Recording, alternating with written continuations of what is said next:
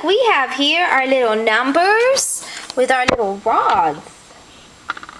Unfortunately, our little rods on the other side have little holes. So, Dina, what are we doing? Are we putting the little rocks inside? So we put one rock in the one, two, three, four. We're on number five. So let's put five little rocks. Look, we have to find the small ones to fit. One, good. Count with mommy. Two, oh, it's too big. Okay, find a little one. So this is also very good coordination for little, little motor skills. Two, good. Three, count with mommy. Three, now we need four. Four. Oh, is it too big? Find a tiny one.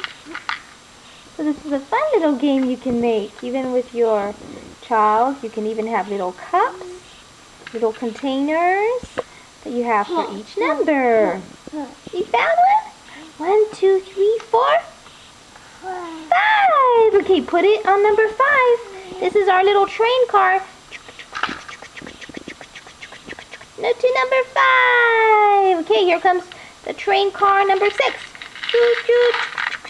Okay, we need six. Oh, that doesn't work like that, Dina. We need to put, okay, you put them down here so you can find all the tiny ones. Okay, find the tiny ones that will fit in there. This is also learning oh.